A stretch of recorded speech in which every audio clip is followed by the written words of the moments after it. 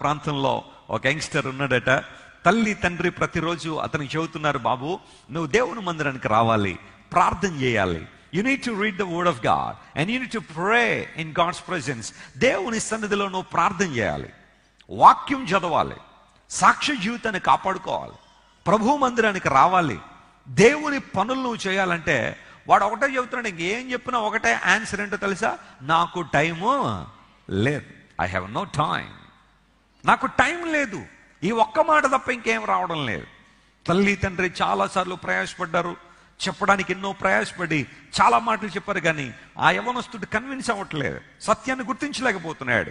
ఆ సదంలో ఒక రోజున తల్లి తండ్రి ఇద్దరు కూడా ప్రార్థన చేశారు. ప్రభు మా యవనస్తుడైన కుమారునికి నీవే బుద్ధి చెప్పు నాయన. నీవే మాట్లాడు స్వామి. నీ దర్శన భాగ్యం కలిగించి అతనితో మాట్లాడు ప్రభు అని ఎప్పుడైతే ఆ తల్లి తండ్రి ప్రార్థన చేశారో జరిగిన విషయం ఏంటంటే ప్రియులర గమనించండి. ఆ రాత్రి యవనస్తుడు పడుకున్నాడు. కలలో ఒక దృశ్యాన్ని చూస్తున్నాడు. కలలో చచ్చిపోయాడు. చనిపోయేలా పైలోకాళ్ళకి వెళ్తున్నాడు. వెళ్తూ ఉంటే దూరంగా దేవుని రాజ్యం కనబడింది. దగదగా మెరిసిపోతున్న సుందర రాజ్యం మహిమగల రాజ్యం. గబగబా ఆ ప్రాంతం దగ్గరికి వచ్చాడు. వచ్చిన తర్వాత ఏం జరిగింది అని ఆలోచన చేస్తే ప్రియులర గమనించండి.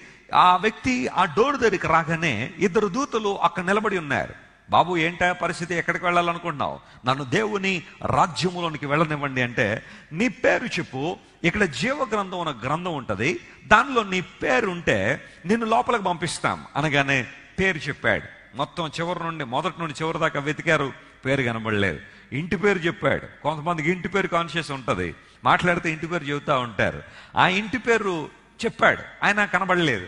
ఆ తర్వాత డిగ్రీలు చెప్పాడు. పోనీ తన వెతకండి అని చెప్పి తనకున్న డిగ్రీలని చెప్పాడు. అప్పుడు దొరకలేదు. చాలా ప్రయాసపడ్డారు. అటు ఇటు వెతున్న దొరకట్లేదు. యవనస్తుడు కొంచెం టెన్షన్ పెరుగుతా ఉంది. ఇప్పుడు ఇందులో పేరు లేకపోతే ఏంటంటే అన్నాడు. ఏంటంటే నరకం నీ కోసం కాచుకుని ఉంది నరకంలోకి వెళ్ళాల్సిందే అంటే అప్పుడు అడిగాడు ఇందులో పేర్లు ఎవరు రాస్తారో చెప్పండి అతనితోనే డీల్ చేసుకుంటానన్నాడు. ఎవరు రాస్తారయ్యా? దేవుడే రాస్తాడు. యేసుక్రీస్తు ప్రభువే తన స్వహస్తాలతో ఆ పేర్లు రాస్తూ ఉంటారు జీవగ్రంథంలో అంటే ఆయన విలవండి అన్నాడు.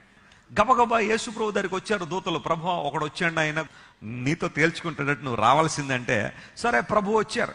వచ్చి ఏమి నా కుమారుడా ఏంటి సంగతి? అన్నాడు. నా పేరు ఎందుకు రాయలేదు జీవగ్రంథంలో? అని అడిగాడు. అప్పుడు యేసుప్రభు ఇచ్చిన ఆన్సర్ ఏంటో తెలుసా? నీ పేరు రాద్దామని చాలాసార్లు అనుకున్నాను కానీ టైం దొరకలేదు అన్నాడంట. నీ పేరు రాద్దామని చాలాసార్లు అనుకున్నాను కానీ నాకేం దొరకలేదు? టైం దొరకలేదు. ప్రియులరు ఆలోచించేయండి. నీవు చెబుతున్న మాట దేవుడు నీకే చెబితే టైం లేదు టైం లేదని దేవుడు అదే మాట నీకు చెబితే నీ పరిస్థితి ఏంటో? ఒకసారి ఆలోచించే. ప్రభువా నేను నీ సన్నిధికి రావడానికి టైం లేదు కానీ నన్ను ఆశీర్వదించి ప్రభు అంటే నిన్ను దీవించడానికి కూడా నాకు టైం లేదంటాడు. నీ సన్నిధికి రావడానికి నాకు టైం లేదు కానీ నన్ను రక్షించు ప్రభు అంటే రక్షించడానికి కూడా నాకు టైం లేదు. నువ్వు ఏదైతే ఈ రోజు చెబుతావు ఒకరోజు అదే మాటలు మరలా నీకు తిరిగి వినిపిస్తాయేమో. జాగ్రత్తగా ఆలోచన చేయి. ఏ కార్యానికైనా టైం ఉన్నా లేకపోయినా దేవుని కార్యాల కోసం ఏముండాలి మనకు? టైం ఉండాలి. అందరూ బట్టి అపోసిన పావులంటాడు దినములు చెడ్డవి గనుక సమయమును పోనీయక సమయమును ఏం చేసుకోవాలట? సద్వినియోగం చేసుకునొచ్చు అజ్ఞానుల వలె కాక ఎలా నడవాలి? జ్ఞానుల వలె నడవండి. అసలు శిశులైన జ్ఞాని ఎవరు ఈ భూమి మీద అంటే సమయాన్ని సద్వినియోగం చేసుకునేవాడు. దేవుని స్తోత్రం చెప్పండి. హల్లెలూయా.